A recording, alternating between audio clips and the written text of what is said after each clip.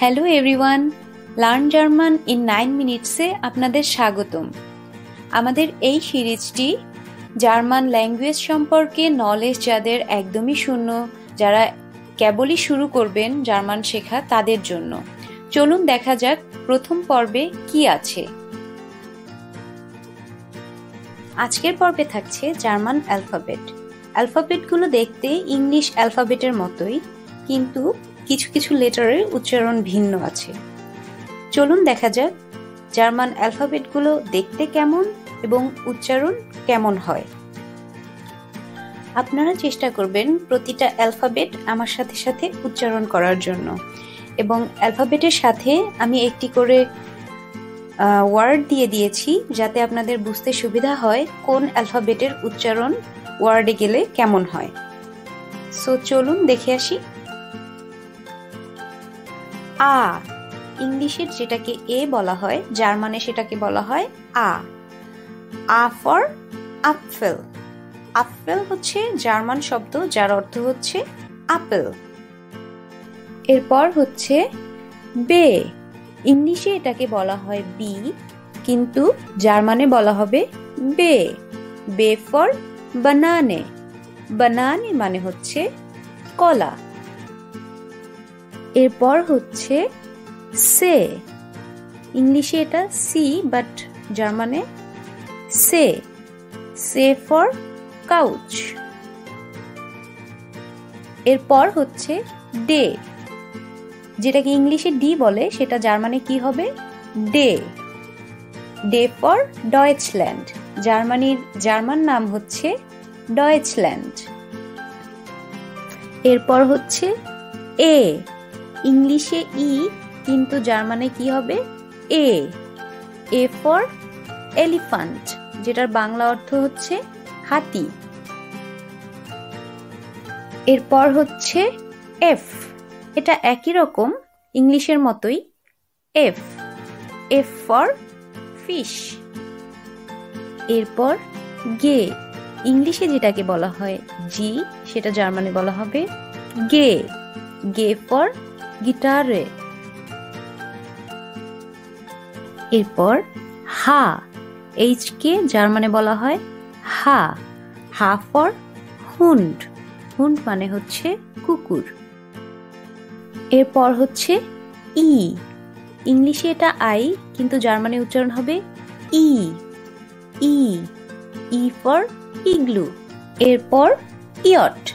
ইংলিশে যেটা যে, সেটা জার্মানে হবে ইয়ট। কি হবে?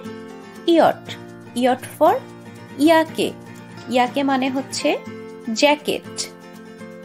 এরপর কা। কে কে? যার জার্মানে বলা হয় কা। কা ফর কাৎসে কাৎসে মানে হচ্ছে বিড়াল। এরপর এল। ইংলিশের মতোই উচ্চারণ। এল। L for লুভে। লুভে মানে হচ্ছে সিংহ।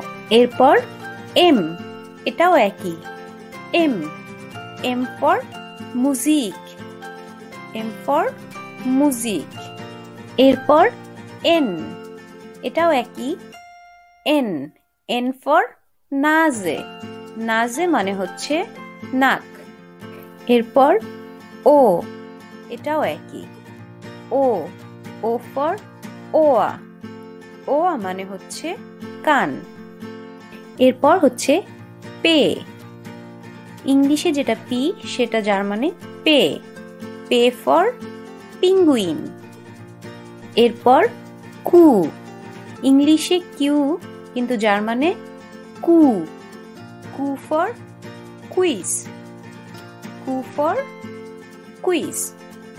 এরপর এরা ইংলিশে আর, কিন্তু জার্মানে উচ্চারণটা একটু ভিন্ন। পানি গলায় নিয়ে গার্গল করলে যে শব্দটা আসবে, সেটা হবে এরা। এরা ফর রেগেন। রেগেন মানে হচ্ছে বৃষ্টি। এরপর এস, একই রকম উচ্চারণ। এস এস ফর জনে। জনে মানে হচ্ছে সূর্য। এরপর টে ইংলিশে যেটা টি, সেটা ডয়েছে হচ্ছে তে। টে ফর ট্যাক্সি ট্যাক্সি মানে হচ্ছে ট্যাক্সি এরপর উ। ইউকে জার্মানে উ বলে। উ। উ ফর উয়া। উয়া মানে হচ্ছে ঘড়ি। এরপর ফাউ। ইংলিশে যেটা ভি, সেটা একদমই ভিন্ন উচ্চারণ। ফাউ। কি হবে? ফাউ। ফাউ ফর ফোগেল ফগেল মানে হচ্ছে পাখি। এরপর ভে ইংলিশের যেটা ডাব্লিউ সেটা জার্মানে ভে ভি এর মতো উচ্চারণ। ভে ফর ভলকে। ভলকে মানে হচ্ছে মেঘ। এরপর ইক্স।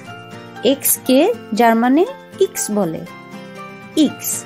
ইক্স ফর জিলোফোন এরপর উপসিলন। এটা একদমই ভিন্ন উচ্চারণ। এইটা একটু মনে রাখতে হবে। কি হবে? উপসিলন। উপসিলন। উপসিলন ফর ইয়োগা। এরপর সেট। জেডকে ডয়েচে সেট বলে। সেট ফর জেব্রা। আ থেকে সেট পর্যন্ত এই লেটারগুলো বাদেও তিনটি ভিন্ন রকমের লেটার আছে, যেগুলোকে বলা হয় আ উমলাউট ও উমলাউট এবং উ উমলাউট এগুলোর উচ্চারণও ভিন্ন। আ উমলাউটকে বলা হয় এ, ও উমলাউটকে বলা হয় ইউ, আর উ উমলাউটকে বলা হয় উ। আর একটা লেটার যেটা বিটায়ের মতো দেখতে, এটার উচ্চারণ হবে এস। এস ফর ভাইস ভাইস মানে হচ্ছে সাদা। এই দুইটা ফর্ম জানা খুবই জরুরি, যেমন ই আই এর উচ্চারণ হবে আই এবং আই ই এর উচ্চারণ হবে ই পরবর্তীতে কাজে লাগবে। চলুন তাহলে আবার প্রথম থেকে একবার প্র্যাকটিস করা যাক। আ, বে, সে ডে এ, F ge ha i iot ka l m n o p q r s t u v v x y set so congratulation everyone তাহলে আপনারা এখন সবাই জার্মান অ্যালফাবেটের এ টু জেড জানতে পারলেন। আমি আশা করছি ভিডিওটি আপনাদের অনেক কাজে লাগবে এবং এই সিরিজের পরবর্তী ভিডিওগুলো দেখতে অবশ্যই ভুলবেন না।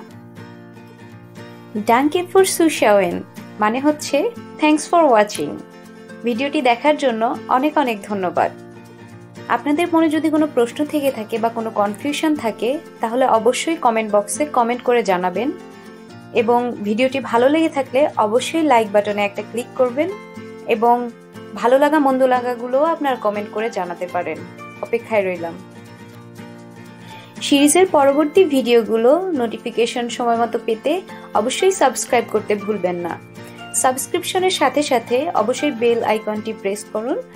এবং ততদিন পর্যন্ত ভালো থাকুন, সুস্থ থাকুন এবং বেশি বেশি জার্মান ল্যাঙ্গুয়েজ প্র্যাকটিস করুন। আল্লাহ হাফেজ।